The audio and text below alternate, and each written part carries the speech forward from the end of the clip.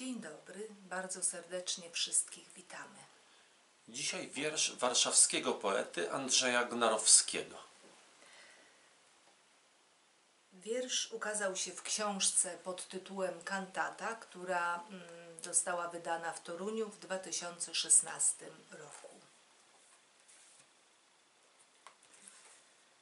Nad agatowym drzewem mignęła chmura czysta, jak zamarznięta łza.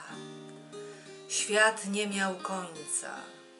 Ludzka tęsknota jak dzień w szarości zanurzony. Po środku ziemi stały trzy krzyże. Nad nimi chmura ciężka jak ołowiana masa. Słyszałem płynącą skądś słodką muzykę. Same smyczki, pierwsze skrzypce i altówki z lipowego drzewa. Wyżłobiona kołami aleja, wysadzana wierzbami. Łan żyta. Wóz jadący stępa traktem. Vive la grande vote.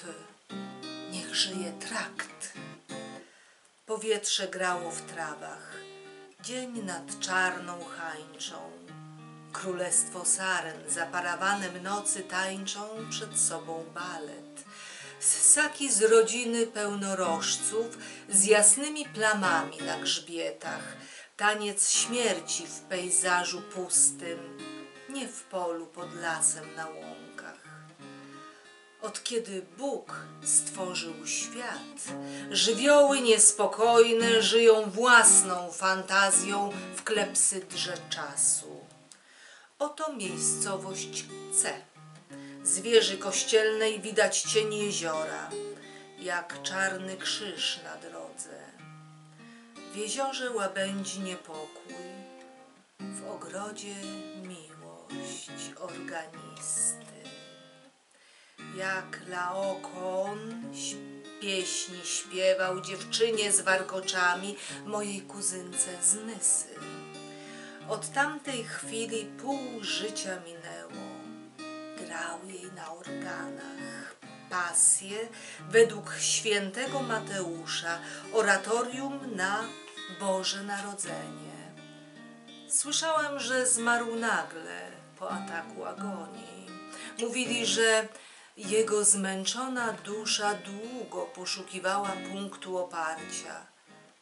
Patrzyłem z zakrawędzi smutku, jak obrazy głębsze od oddechu przesuwały się w gorączkowym pędzie, zmienne i nieuchwytne, jak litografie przedstawiające sceny z mitologii. Wielkie miłości są jak meteory, o których napisał. Zrób mnie, miłości, nieczułym składnikiem ogrodu, mandragorą, która jęczy w ziemi. Pod konarami bezlistnych drzew stałem jak alchemik. Widziałem łzy pod ściągniętymi brwiami mojej kuzynki z Nysy. Jak przez sen mówiły do mnie pierwsze akordy koncertów brandenburskich. Głosy mam zapamiętać, ślad ma zostać po nim. Moja dłoń w jego dłoni, ten dialog, jak w Ermie na Hellas. Dziękuję bardzo. Do usłyszenia